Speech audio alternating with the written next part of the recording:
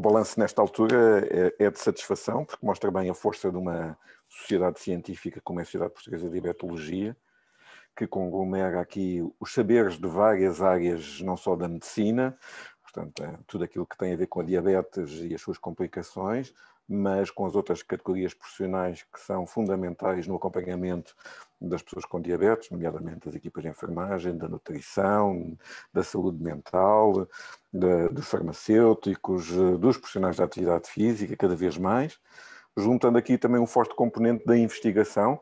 e, portanto, é para nós sempre uma satisfação verificar o dinamismo que a investigação em diabetes tem em Portugal, eh, muito ligada também àquilo que se faz nos centros universitários. E, portanto, se há alguma coisa que nos traz satisfeitos é continuar a demonstrar que este, esta vontade de saber mais em diabetes continua presente num congresso. Depois foi a satisfação de, num ano de pandemia, ter conseguido realizar um congresso de forma virtual, com elevada participação ao vivo, e estamos certo com muito mais depois, na, nos próximos três meses, eh, e portanto conseguiremos chegar a muito mais pessoas do que provavelmente chegaríamos num congresso uh, presencial. E depois, foi, enfim, conseguimos ter um programa de elevada qualidade e, portanto, falámos de Covid e diabetes e, portanto, tudo aquilo que, que sabemos sobre esta relação tão difícil entre a diabetes e os maus resultados que acontecem às pessoas com diabetes quando, estamos, quando estão infectadas, mas também falámos da preocupação do acompanhamento das pessoas com diabetes não infectadas e que necessitam de apoio regular dos cuidados de saúde. E aqui depois abriu-se aqui um, um conjunto de comunicações muito interessante sobre a telemedicina, e o acesso à tecnologia e como é que a tecnologia hoje nos ajuda no acompanhamento à distância muito na perspectiva de aprendermos para o futuro. E isso também foi algo relevante. Depois, no ano em que celebram os 100 anos da insulina, era para nós fundamental também fazer um bocadinho o balanço de 100 anos da insulina, muito do que são 100 anos de diabetes, e essencialmente percebermos que 100 anos depois a insulina continua a ser um pilar fundamental,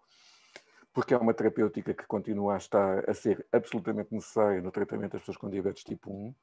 é ainda fundamental na, no, no, tratamento das pessoas com diabetes tipo 2 e é fantástico perceber que ao longo destes 100 anos também houve uma evolução, na, enfim, na, na, insulina propriamente dita, naquilo que nós usamos como tratamento, nas formas de administração e naquilo que o futuro nos vai trazer também. No Congresso também, a presença dos grupos de estudo é uma outra forma de mostrar a vitalidade de uma sociedade e, portanto, temos grupos de estudo variados eh, nas áreas do, do rim, das complicações cardiovasculares, na área do pé diabético, no grupo da enfermagem, da nutrição, no grupo da educação terapêutica e todos eles conseguiram organizar simpósios no, novamente de elevado interesse científico, com convidados de, de vários sítios do mundo, também se tornou mais fácil neste ambiente virtual mas com uma boa interação e bons níveis de discussão, e, portanto, cumprimos a nossa função enquanto Sociedade Portuguesa de Diabetologia de conseguir fazer um momento de uh, celebração, de formação e atualização na área da diabetes.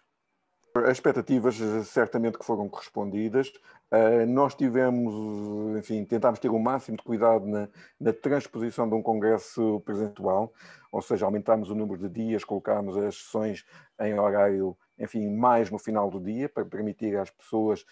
que, após o seu trabalho, pudessem ligar-se ao Congresso, porque sabemos que há muita dificuldade em manter presenças virtuais uh, durante horários de trabalho. E, portanto, pretendemos, uh, e, e, por isso foi a razão de estender o Congresso por mais dias,